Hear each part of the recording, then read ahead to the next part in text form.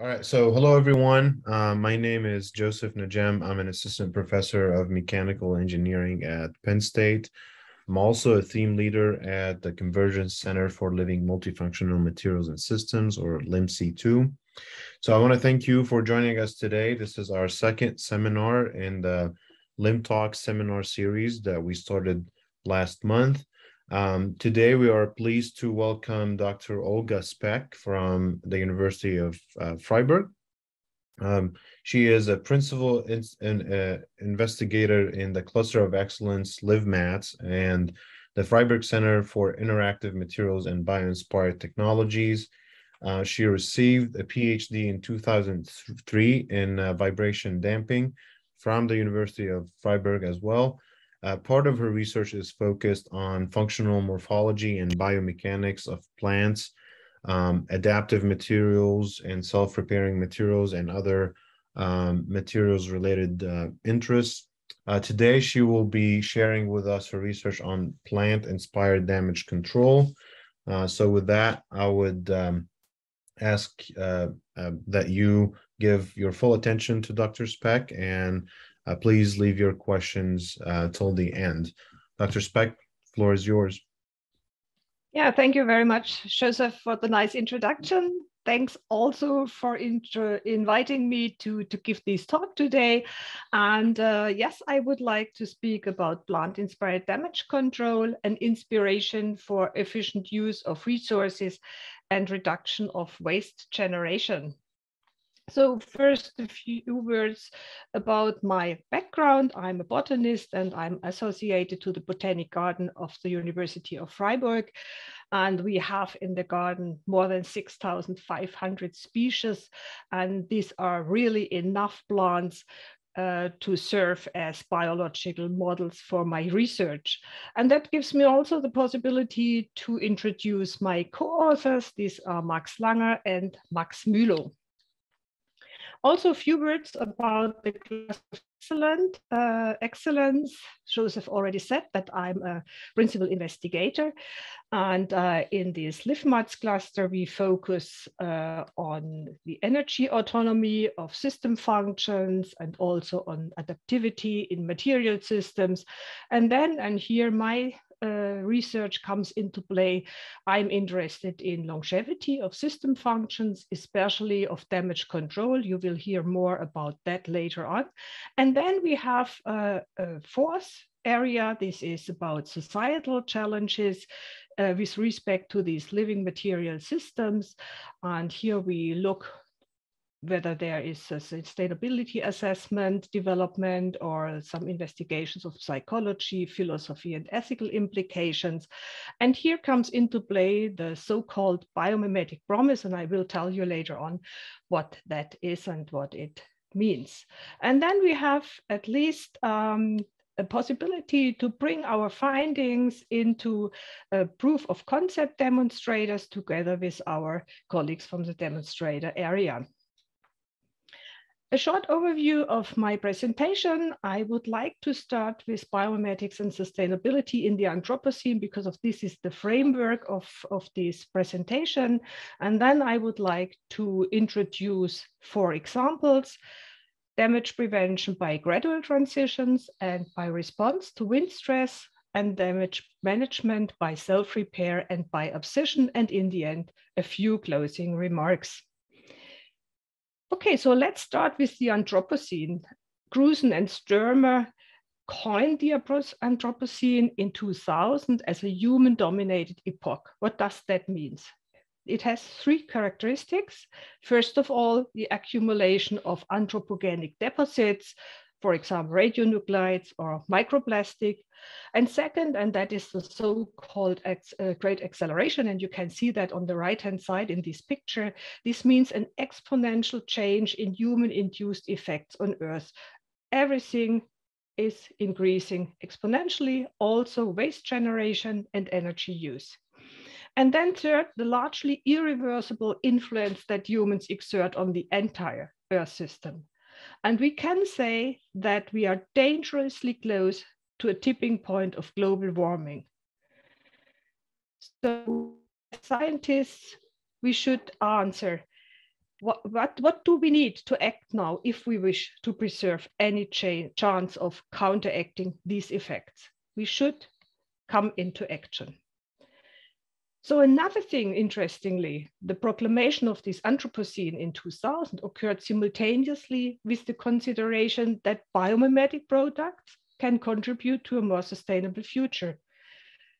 So this is a hypothesis. So first of all, we had a look, made a statistic, and you can see here on the, the number of the publications which uh, focus on the relationship of, of and sustainability. And here the years from 2099 until 2021. And we, really, we can see there is an exponential increase of uh, publications that deal with this topic. But we have to look what means biomimetics. Otherwise, we can't prove this hypothesis. So the background is that during biological evolution, many damage control mechanisms have been evolved and interestingly also independently of each other. And that is a, a, a really a chance for us because of that is the, the guarantee that we have a, a bunch of, of uh, biological concept generators to learn for technical applications. A few words, what is biomimetics? That is a systematic transfer of functional principles that we find in biological models and that we then transfer to technical application. And in, in this uh, biomimetics um, system transfer, we have two approaches. And I show you this here in these graphs. We have here first the technology pull process, which starts with a technical question of an engineer who wants to improve uh, a technical application uh, by ideas from biological, biological concept generator. And here we have the biology push process. That means a scientist, a botanist, whoever starts with a biological question, for example, about um, self-repair of plants in arid uh, environments and wants to know more about the plant. And then all the other steps are similar. That means after having formulated this, on, this question, then we start to, um, to study our biological concept generator. We have to select them beforehand. Then we try to understand the functional principle.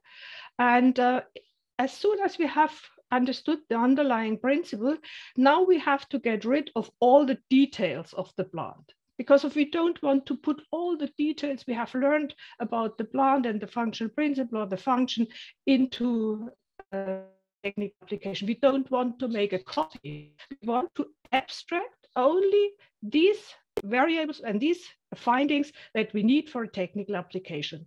And as soon as we have abstracted the, the, the details that we need, then we can translate it into an engineer compatible uh, language, for example, an analytical or a numerical uh, model. And that is the prerequisite for a technical application. And in the case of the technology pull process, we have in the end an improved uh, biomimetic product and if we are lucky in the biology push process, we have a new biomimetic product, product and they are on the market. So this is a stepwise systematic transfer of functional principles. No word about sustainability. Please keep that in mind. Now I come to the biomimetic promise. What does that mean? It's clear. Learning from nature is linked with the hope of learning from biological solutions. That is what I showed you. And that seem to these solutions seem to be evolutionary optimized, ecologically adapted, low risk, and sustainable. So we have the feeling that we can grab some special quality if we have a look into nature. Next question is nature sustainable? And I would say no, nature is not sustainable itself in the sense of an anthropocentric or a teleological mission statement or leitmotif. And therefore, it cannot provide simple blueprints for sustainability. Next question is, are biomimetic solutions sustainable? And you can imagine that I say no, because of the, de the, development of a biomimetic innovation does not automatically guarantee its I showed you the approaches. There was no word about sustainability. And so it can't be a simple byproduct of these biomimetic approaches. I would say the better question is, are biomimetic solutions more sustainable? And we say the best thing is if we carry out comparative sustainability assessments and we should compare the biomimetic product with the reference product. Then we can, in the end, we can say which of both is more sustainable. After all these answers of no, I would now like to, to ask, can we learn from nature for sustainability? And here I would say, yes, we can learn from biological concepts for sustainability strategies, such as efficiency, consistency, and sufficiency. I will show later on some examples. And then a few years ago, in the Transregio, we worked together with um, with engineers uh, from from the Fraunhofer in in, Stutt in Stuttgart, and uh, we were talking and and thinking about a bio-inspired sustainability. And we are sure that nature can provide inspiration for the development of solutions with special attention on the relationship of social, economic, and environmental functions and the corresponding burdens. So we have a kind of a trade-off between functions and burdens. This sounds a bit like efficiency, and I'll show you later an example where you can understand this approach.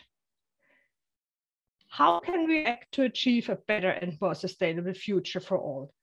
As I told you, it's not so easy just to produce some biomimetic solutions. we have to do more. And I think a very good step is that we have this 2030 agenda, which is an internationally agreed set of 17 sustainability developmental goals SDGs. You can see them here on the left-hand side, such as no poverty, no hunger, or life below water. And, and I will focus on number 12, responsible consumption and production. And in addition to the SDGs, we have 169 targets and 230 SDG indicators. So what does that mean? Here on the right-hand side, you see an excerpt of the agenda, and it is our goal 12, and this is here called ensure sustainable consumption and production patterns. So this is a general goal. Now they formulate various targets. For example, here the 12.5, by 2030, substantially reduce waste generation through prevention, reduction, recycling, and reuse. This is much more um, targeted and if we have this target, then we should have the possibility to measure whether we are we are uh, whether we have uh, we are successful with these ideas, and that is how now the indicators come into play. Play in this case, national recycling rate can be measured, or the tons of materials recycled. So these are a, a, lot of a lot of pages of these uh, of this agenda with all these uh, SDGs targets and the indicators. And it's internationally agreed, but it sounds a bit more like politician. So what can we do as a public? And I can say um, there is a possibility that, and here also bio-inspired solutions can help. So in the context of the circular economy, the so-called ARS framework of sustainability offers us, the public, designers and manufacturers, up to nine action instructions so that we can participate in resource conservation and in waste avoidance. And here are these straightforward action instructions, all starting with an R, rethink, refuse, reduce, reuse, repair, repurpose, return, recycle, and recover. And we can say that we have to interpret these um, action instructions with respect to the pillars of sustainability, whether society, economy, or environment, environment, or and we have to have a look uh, to the sustainability strategies to make things better or different or uh, to change our lifestyle in terms of su sufficiency. So now we had all these R words, and now I would like to start with my second part of the presentation. And we want to have a look what we can learn from damage control in plants. First of all, there are two paradigm, uh, paradigms. First, the damage prevention. And damage prevention, for example, by the formation of uh, gradient transitions or by the response, for example, to, to wind loads, that enables plants to withstand higher stresses without damage. Having no damage also means for technical applications, no waste generation and resource uh, uh, use is uh, smaller. And the second paradigm is the damage management. And here that is clear. On the one hand side, we have the self-repair. That means that we mitigate damage, but, and that may be a bit astonishing, also abscission. That means the abscission of, of plant organs. And that creates weak points and ends up with a damage. And I will show you that also this may help us, for example, for uh, recycling. Okay, a few years ago, we were working together with the architects in at the University of Stuttgart, and they asked us, botanists, how can we connect rod-shaped and planar elements? Because of that is particularly demanding. We have these huge changes in geometry, in size and shape. You can see an example here on the right-hand side. And we said, okay, that is not such a problem because of we also know that from nature and it's also well known from technology. So technical connections, as we can see here, are mostly rely on a large number of individual components. And these are often prone to failure because of their occur areas of high stress and high strain together with my student, I, I had an idea to focus on foliage leaves. And you can see here one example. And we have here a transition zone that connects this planar lamina with a rod-shaped petiole. And this transition zone is damage resistant to bending and to torsional loads. And it is a smooth structure because of um, the superimposition of various gradients. And now I want to show you first which leaf models we selected and why, and then a few of these gradients uh, that are superimposed. So um, we choose these four leaf models because the first uh, criteria was the body plan. We uh, uh, differed between monocotyledones and dicotyledones. That means that these plants have uh, a variety of or several uh, characteristics that are different.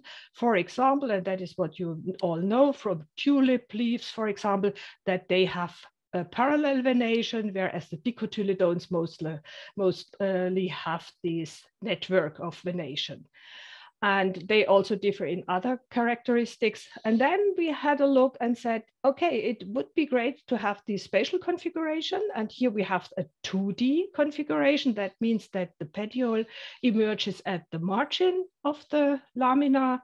And in the 3D uh, configuration, we, the petiole ends up here more or less in the center of the lamina. So the 3D leaves also are called peltate leaves or umbrella leaves. And now let's start with the first gradient. Let's have a look on the cross-sectional geometry, how it develops from the petiole to, to the transition zone. And here we see we have this U profile. And if you go a bit further up to the transition zone, we also have this U profile. And here you can see the lamina starts.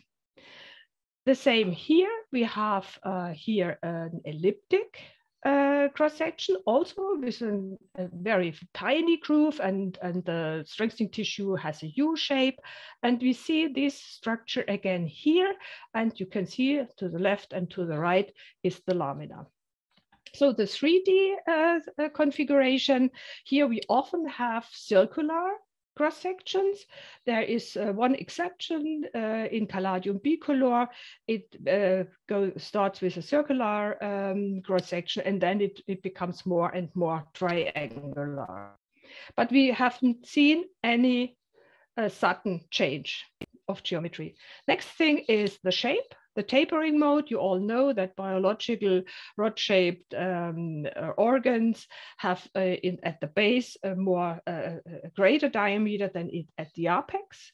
And uh, we can uh, calculate this tapering mode and you can see here, if, if it is zero, then it's no tapering mode, it's a circular cylinder. If it's one, it's a circular cone, or it can go up to 1.5. And we could calculate the tapering mode for all our leaf models.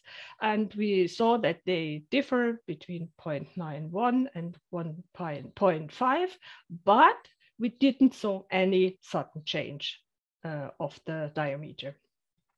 The next gradient is the size, also very important for, for the leaves. And uh, if we plot a size variable. In this case, it is the actual second moment of area, but it also works with the area or the torsional second moment of area as a function of the height. And here it's more basal, the petiole, and here more apical uh, towards the lamina.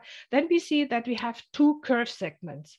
First of all, here, the black dots, this is the petiole that hardly increases, sometimes, or sometimes also decreases linearly. And then it, it smoothly goes into an exponential increase. These are the red dots, and this is the transition zone. And we could find these two curve segments for our four selected leaf models. Now we come to the strengthening tissues. In this case, these are micro CT uh, recordings, and we uh, colored the vascular tissues. Vascular tissues are uh, responsible for the transport of water and sugar, and also responsible for the mechanical stability of the leaves. And we see here uh, nicely the parallel venation of hosta leaves. Then we can have a look on the two 3D uh, leaves, and they look pretty similar. And here we have this hemigraphis with this U-profiled uh, petiole. It looks a bit weird, but also here we saw some smooth uh, transition of, of all these uh, strengthening tissues. And now I want to zoom in until we are in the microscopic level. And you can see here that we go into the micro, microscopic level and the cellular level, a cross section. And here in red, stained in red, are the lignified strengthening tissues, the vascular tissues I showed you before, which were colored there in blue. And what we can see here is it is very red here in the middle, and then it fades out. This means we have uh, we have a, a, a, concentration. And if you have a look here, we also see that it, it looks very porous. And these two pictures were an inspiration for architects at the University of Stuttgart who developed uh, a graded concrete for buildings. And here I want to introduce two things. First of all, the graded concrete, and then also, as I promised, the bio-inspired sustainability assessment BISA. Okay, so I said we should compare biomimetic solutions with conventional solutions, and that is what we did here. We have here a slab, and that is built of conventional concrete. And here we, we summed up all the, uh, the resources, and we hopefully got, got to 100%. Then uh, we compared it with the um, graded concrete uh, slab, and you can see that we already have some savings. And then when we also include the indirect saving effects, and that means if the slab is not so heavy, we don't need so much load bearing structures. So this, the walls can be smaller as also the pillars. Then we have an additional effect and we have uh, additional savings. And um, that is the first thing where we really can see that we have less resource use and um, now I come to the bio-inspired sustainability assessment, which depends on the ESO assessments, but it has this uh, nice graphic in the end. And what we can see is, and I told you that before, we have here the function that is clear. Every slab has a function in a building, physical uh, functions, and so on. And um, here in, in, the lower part, we have the resources that we use to produce these slabs. And the interesting thing is this gray circle here, because of this gray circle, this is um, a normalization to the conventional product. That means this is our slab with the conventional concrete. And we can see that the function of the conventional and the biomimetic uh, solution is similar. So both have uh, uh, fulfill all functions they should. That is good. But now if we have a look on the resource use, we see that our graded concrete needs less resources than the conventional one. And in total, I just a few uh, numbers here, but it's all uh, already um, published. You can have a look if you want to. We see that the resource depletion is in total around 56%, global warming per annual 19%, and material and energy cost around 40%. And that is not too bad, I would say. This was the first example, and I want to conclude. Uh, what can we learn from plants? Damage prevention by gradient transitions. First of all, we should have a look if that is a 3D, a 2D or a 3D uh, spatial arrangement. In 2D, we often have elliptic cross sections with a groove or a real U profile. And uh, the 3D ones mostly have a circle. We saw that the shape is a bit different, but without any uh, abrupt changes. Also, the size is comparable. We also saw that the 3D course is uh, smooth and without uh, any uh, changes the, that are very um, sudden. And also the mechanics, and that was this lignification, which uh, has an influence on the mechanics. Although that is fading out and uh, produces these nice gradients. And by superimposing all these gradients, you have these nice, smooth transition zones. So now I come to the next example, that is the response to uh, wind stresses. And um, that is clear. Everybody knows and knows it and sees it every day that plants are exposed to a wide range of bending and torsional loads. For example, wind, rain, can be snow, also animals passing by or birds sitting on a plant. And um, there evolved a kind of trade-off in these leaves and they, because of they should be still enough to bear their load and they should be flexible enough to twist. You can see that here is, is one um, leaf of Caladium bicolor in a wind still situation. And now we put it into put it into the phytochamber and we have a wind of around six meters per second. And you can clearly see that the lamina, the lamina and the petiole started to bend and to twist. This is a kind of reconfiguration or streamlining. And um, during my PhD in 2003, we were in South France to have a look what kind of wind profile uh, the Arundo Donax, the, the giant reed, has to withstand. And you can see here the experimental setup uh, in the Camargue. And here is our, here are our um, measurements uh, and we are at the edge of the, of the, um, of the stand.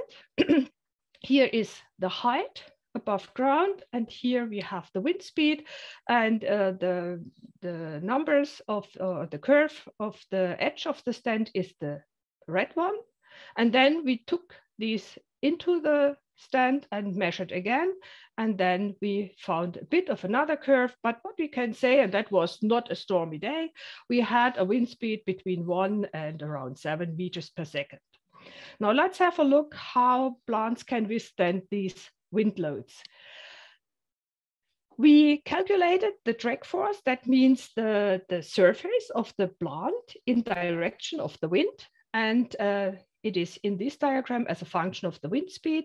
And we see that in the beginning, uh, if we have uh, small wind speeds, 1 to 1 point, uh, 0 to 1.5 meter per second, then we have a relationship to the square, to the square here also to the square of the wind speed. That means the plant doesn't reconfigure it, it, it is how it is. But with around 1.5 meters per second, the plants start to bend, to streamline, to twist. Um, and suddenly we have this linear relationship. And now we could calculate what would happen if the plant can't streamline, if it can't reconfigure it, then this green curve would go, oh God, it would go until the ceiling of my room. Um, and we could calculate this, um, this reduction. And you can see we had one to around seven meters per second. And if we go to, to five or eight meters per second, there's all, there is uh, already a drag reduction of 68%. And if you go to 10 meters per second of 73%. Uh, that means that due to the streamlining and reconfiguration, bending and twisting of the entire plant and its, its leaves, the plant can withstand higher wind loads without damage. So these, this reconfiguration, this deformation of plants, that is a very, very interesting and important feature. I have spoken about response, and I really want to show you here what kind of complications can occur if a botanist talks with an engineer. So response seems to be easy to understand. We respond to mechanical stimuli, for example, wind. This is an individual plant and that starts to reconfigure, to streamline, and that can uh, take place within seconds, minutes, or up to days. Then there is a next thing uh, that is called acclimation in, in biology. Also individual plants, and they have wind uh, from one side, for example, over weeks or months. And then we see that they that they change their morphological, their anatomical and mechanical properties of the plant tissues. So this is what we call more thigmomorphogenesis, but in the end, it's nothing else than a trained plant because of a plant at the edge of a stand has uh, more wind load than a plant in the middle of the, of the stand. And now uh, the complication starts with the word application, uh, uh, adaptation, because of in biology, this is only reserved for populations of plants, and that is reserved for evolutionary time periods, and also for the change of genetic materials over various and several or many generations of plants. So I was talking about response in my example. And I want to go on with this response and uh, deformation example uh, that, that, was, um, that was transferred to a technical application by my colleagues. You see here the flectofin, which is a hingeless flapping mechanism. It is a facade shading uh, system, and that was inspired by the deformation principle of this bird of paradise. And you can say that had an interesting pollination mechanism. Um, in response to the, that is a response to the mass of the bird, you, which is, uh, should be uh, indicated by this arrow, it starts to bend and to twist and to present the pollination here, the pollen inside. And now the, the bird is sitting on this perch and has all the pollen at, at its um, feet. And then it goes to the next, to the next, to the next flower and brings the pollen from one flower to the other. So um, what we learned is that for this, for this facade shading, that we need this backbone and this backbone causes, when it is bent, and, and a bending, as the bending of the backbone causes the attached lamina here on both sides of the backbone to deflect sidewards.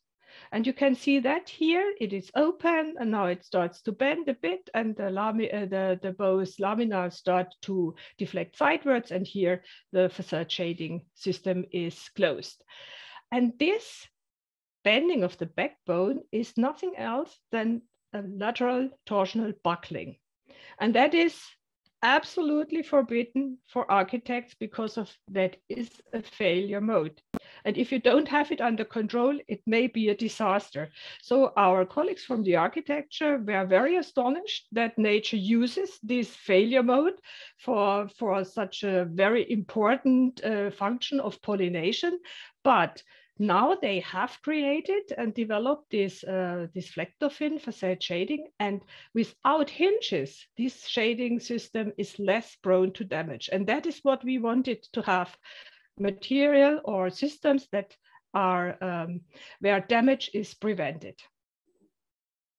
So what did we learn now from the damage prevention by reaction to wind stresses? On, uh, so first of all, I showed you that we have this response uh, to wind or to to uh, other, uh, or in, in the case of, of the deflector fin to, to, the, to the bird uh, mass, and that is what we call reconfiguration or streamlining. But then we also can have, after a while, the acclimation, and that ends up with these strained plants. And I can tell you, we made a, a, a review, and everything can happen to these plants. Sometimes uh, the control has a, a, a, higher stem length than the wind, uh, than the wind group or in the other way or the other way around. Also the mechanical properties can differ in all directions. You never know, you, you have to do these studies and then you know what how your plant uh, acclimates to,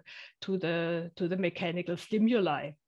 And then I talked about adaptation. And I think here we have learned that we have a, that over evolution, a trade-off um, has developed between the petiole and the transition zone because of we learned that the petiole is stiffer in bending than in torsion.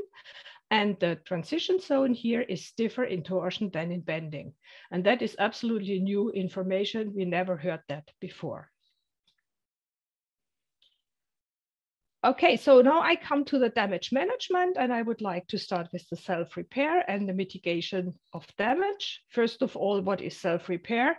We have a lot of other words and uh, from our viewpoint, we can say that in biological and in technical systems, we have two phases.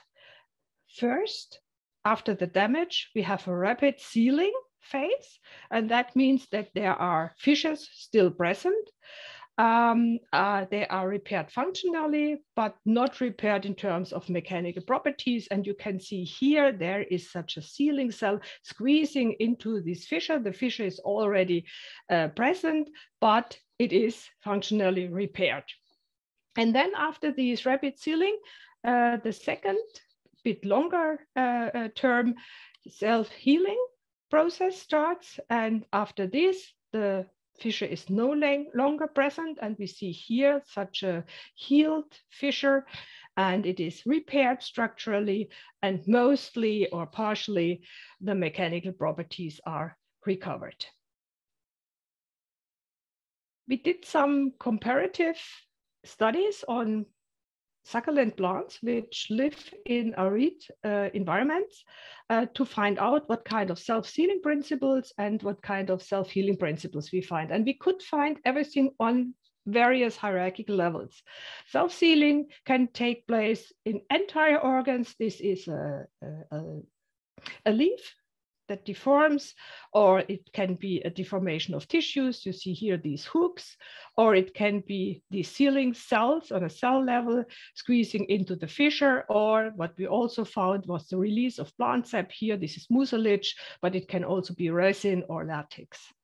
And the self-healing principles mostly start with the development of a wound periderm, and then we find sometimes the formation of the ligno, ligno-suberized boundary layer that pretends uh, the the plants from dehydration, but also from attack by pathogens.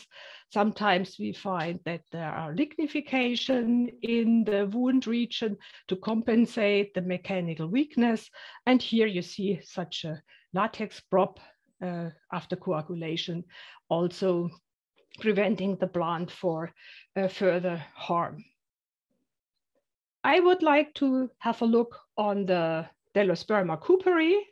Um, here we have, a, this is a, a, stand in the Botanic Garden of, uh, of Freiburg, and you see there are already some damage, but the plant can, can easily seal and heal it. So there's a high evolutionary pressure on rapid self-repair of external injuries to protect the plant from dehydration, especially if we have a look on succulent plants, which uh, grow in, in semi-arid or arid uh, environments. So uh, my student brought this plant from the Botanic Garden and then we started to make some um, external mechanical injuries. and you can see what happened. So if we made a transversal cut and or a longitudinal cut on one side of the, of the leaf, then we saw after 60 minutes that it started to bend a bit like this here. Okay, and after 60 minutes, the wound edges met and then it stops. And then we, we tried something else. We made a kind of circumferential or a ring uh, incision. And after 60 minutes, we, we saw that it started not to bend, but to contract. And it stopped when the wound edges met. Now we wanted to understand well, how, how, how does that work? We wanted to understand the functional principles. We're talking about functional principles in, uh, in with respect to the, to the biomimetic approaches. Multicellular plants, um, the deformation of multicellular plants depends on the tissue size and it depends on the time scale. Now let's have a look. Uh, our plant, uh, our, our leaf has a diameter of three millimeters. This is here. And we set it after uh, 60 minutes, it stopped. So we end up here. And that means that this is more or less driven by hydraulic movements. And I think that is clear. We have a lot of water inside and we then uh, carried out with colleagues a numerical model based on the theory of porous flow and pore elasticity. And what we found out was, first of all, uh, directly after the damage, there's loss of water through the wound and that initiates this self-sealing. And then it depends uh, this, this deformation depends on the permeability of the cell uh, cell membrane and of the tissue, and these are the determining variables or parameters. Uh, but sometimes these hydraulic movements can be speeded up by instabilities, and they are here in this uh, graphic. And we then started to, to develop an analytical model to, together with Wilfried Konrad based on elastic and viscoelastic deformation. And the, the idea was uh, as such we have five shells. Here you see a very young leaf, and we have here five shells, and uh, we have an epidermis, a net of vascular bundles, then chlorin, parenchyma and in the middle again uh, vascular tissues. And now this young leaf starts to collect water water water and you see it it uh, becomes succulent and these tiny cells here are full of water under pressure. And so the the parenchyma or the parenchymatous uh, tissues are under pre-compression. And these are like spirals now under the vascular tissues are now under pre-tension that means these intact leaves here, they store elastic energy. And now as soon as a, a cut occurs, it releases this uh, stored elastic energy until a new mechanical e equilibrium has installed or established. And now we understand why we have this bending when we have a transversal or a longitudinal cut because of this is a symmetric structure. And if we uh, destroy the symmetry on one side, then we have the bending situation. And if we make a ring incision, then we have uh, um, we make a, um, a, cut around this uh, symmetric. Uh, the, the cut is symmetric, and that means that we have a contraction of the entire structure. And I gave, uh, so what, what we now see is that we have both. We have the hydraulic movement and we have the mechanical instabilities. And I think since self-repair is a fundamental function for these plants, it can be assumed that it is secured by redundant mechanisms. And redundancy is one of the longevity concepts we found. And so, in fact, our results indicate that the two underlying principles complement and support each other. So the question is now, if we want to produce a self-healing uh, material, do we need both principles? I can say, no, you don't need it because of that is free to you.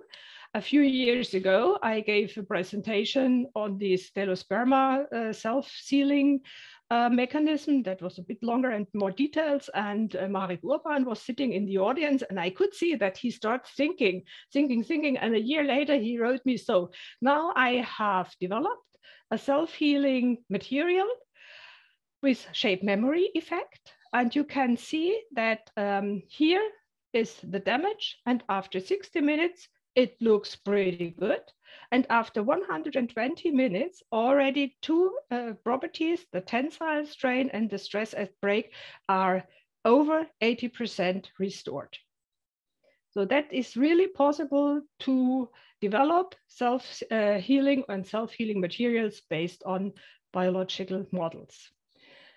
Also here, I want to conclude. Uh, we see that we have three possibilities for, for the mechanisms, the physical ones, and that was what we've uh, found in self-sealing principles. These are the, the cell uh, saps under overpressure like latex or resin, or the turgor of the sealing cells that squeeze into the fissures, or this should, um, should show the, the pretensions of, of the tissues um, that, we, that we found in Delosperma, for example. Then we have chemical reactions, that is, for example, the latex coagulation, but this is already self-healing. And we have some metabolic um, processes, for example, the formation of this lignosuberized boundary layer or the formation of new cells in, in, the, in the wound area. We know that especially these processes are very, very difficult to transfer to technical applications that is the reason why mostly the self-sealing effects are at the moment uh, transferred to technical applications. And now I come to last um, example. This is the abscission.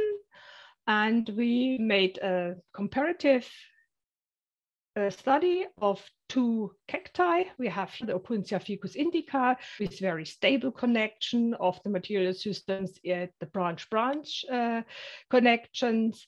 Also, we have here these superimposed gradients, and you see here some uh, MRI pictures you can see there is a branch and here's a huge branch and there is a very narrow connection, but it is strengthened by additional periderm. And here we have the Cylindropuntia bigelowi and it is, it's well known for the, for the abscission zones and that it is, um, that, that the, the branches really fall off if there's only some wind. So but that is interesting for us because of this, in this integration of the material system is controlled spatially and temporarily. And um, here we have the Christmas flower, a longitudinal section. We have the stems. Here we have the petiole of, of the leaf. And here we have the abscission zone. And what you can see is that this is not only one material. In this schematic drawing, you can see these are a variety of materials that have to be disintegrated. We have the epidermis with the cuticle. We have the parenchyma, the phloem, the xylem, and so on and so on. And this abscission zone has to be exactly here because of there is a bud for the leaf of the next year. Um, you know that uh, leaf fall, for example, it starts mostly with the degradation of the chlorophyll. That is the, the reason why the autumn leaves appear yellow or orange. That is not so interesting for, for our application. But then, and that was really very interesting to me, then these plants start to to form uh, to with a protective layer formation. And this is an impregnation of the uh, parenchyma cells with suberin and lignin. And if you remember i showed you that we find these suberin lignin boundary layers also after a damage.